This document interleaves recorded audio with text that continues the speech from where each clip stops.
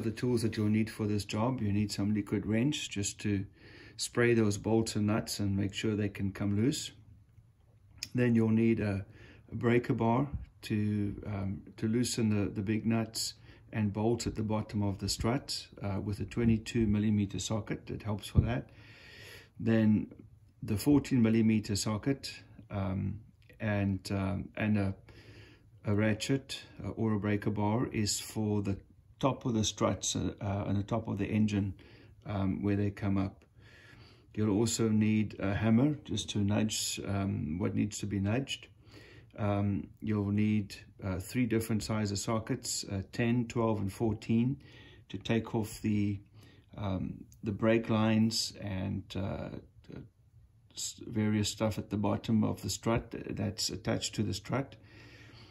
Um, then the uh, the top of the sway bar, um, you'll probably need a five millimeter Allen wrench as well as a box end, a 14 millimeter wrench to uh, to take that off because as you as you turn to loosen it, it's going to spin and the Allen key is going to hold it in place so it doesn't spin. But you need to remove the, the top of the sway bar, which is attached to uh, the strut as well. And then you need a torque wrench at the end uh, to torque everything back up to spec. Um, in my case, the uh, top of the strut, uh, those are 59 foot-pounds, and the bottom two bolts, the 22 millimeter ones, are 155 foot-pounds. So they've got to be torqued uh, pretty uh, tightly. But uh, this should this should be all that you need to get this job done. What's that you'll need for this job are two new um, strut assemblies. Of course, this is the old one I've taken off, but uh, the new ones uh, come just like that, all assembled if you choose. Otherwise, you need to take out the shock from the inside, uh, and then you need um, a spring tool to keep the spring compressed. You use a complete strut assembly like this, um, it, you just take out the whole unit and you just replace it by putting in the whole new unit as, um, in its place. Okay, so the job today is going to be to take off uh, the strut over here and um, and then the lower control arm as well. So the first thing we're going to do is to remove the strut. The first thing we'll do is take off this 10 millimeter bolt over here. The next thing we'll do is take off this 12 millimeter nut over here to loosen these cables. And then we'll undo the 14 millimeter nut over here to get the uh, sway bar removed. After that, it's going to be these two 22 millimeter nuts over here and these bolts to be removed. And then we'll go up um, to the top of the strut and we'll remove the three 14 millimeter nuts over there. So we'll just start by taking off this 10 millimeter over here.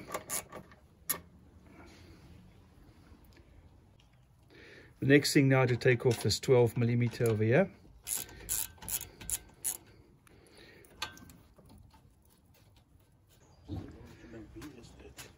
And then this, both of these come off just like that. So now we'll remove the sway bar link up here and uh, because the whole thing actually um, spins we have to just hold it with a five millimeter Allen wrench. Just keep it in place while we take it off. Then the sway bar just gets pushed out the back. As easy as that.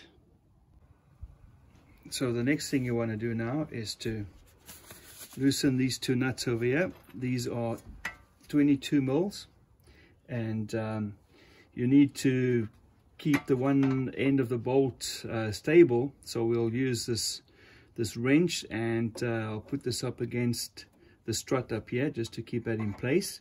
And then we'll use a, a breaker bar to get this guy loose. Okay.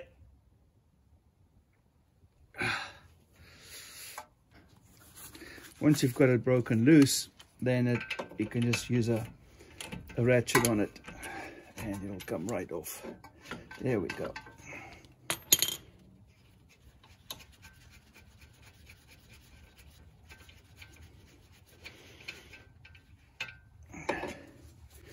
Now I'm going to try and take this out of the way as I go to the bottom one.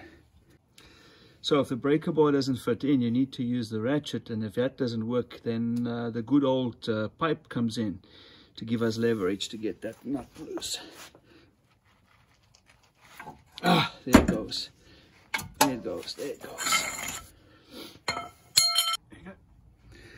So now it's just a matter of getting these bolts out.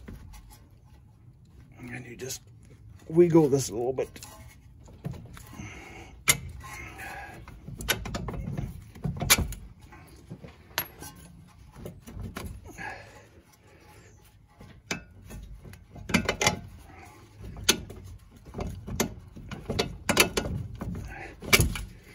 There we go.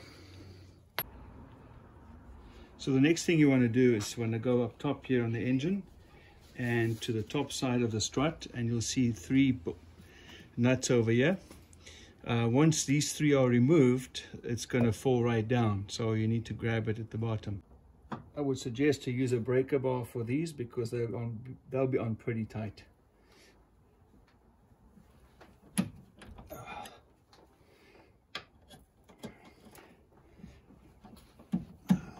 Okay, once they're broken loose, you can just use a ratchet to finish them up.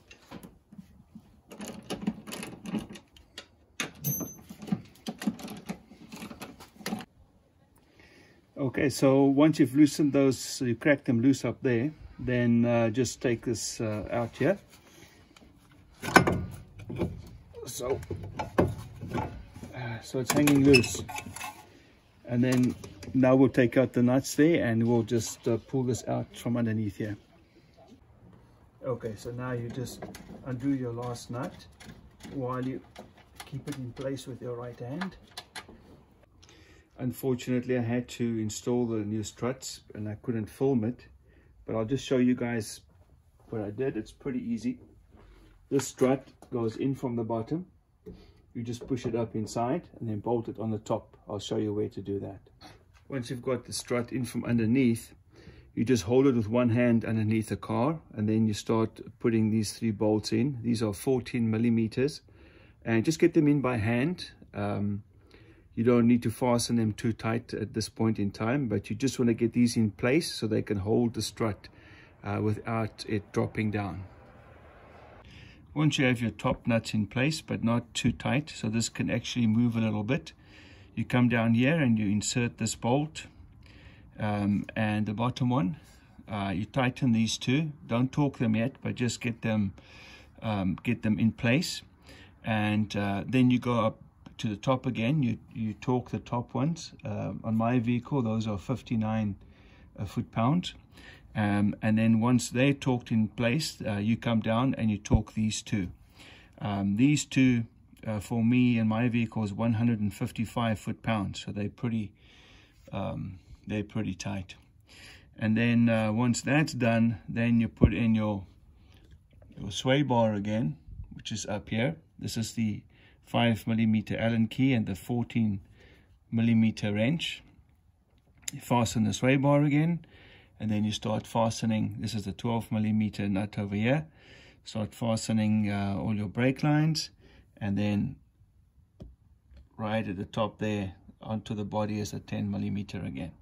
And once you've got those in place uh, just put your ABS sensor back uh, on here and um, it just that just clips on over here. And then once you're done um, it's um, it's a job well done